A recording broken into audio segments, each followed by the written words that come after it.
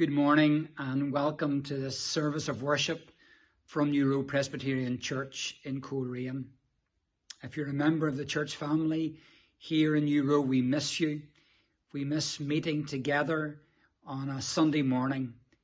This is the new norm, and much as we don't like it, unfortunately, it's going to be that way for the next few months at least.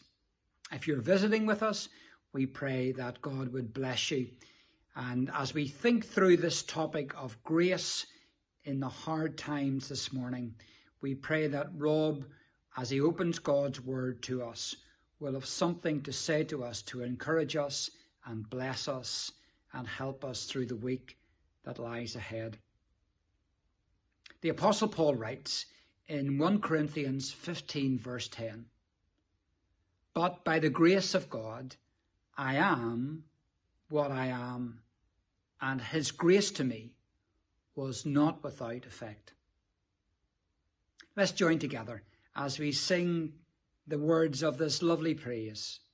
Yet not I, but through Christ in me.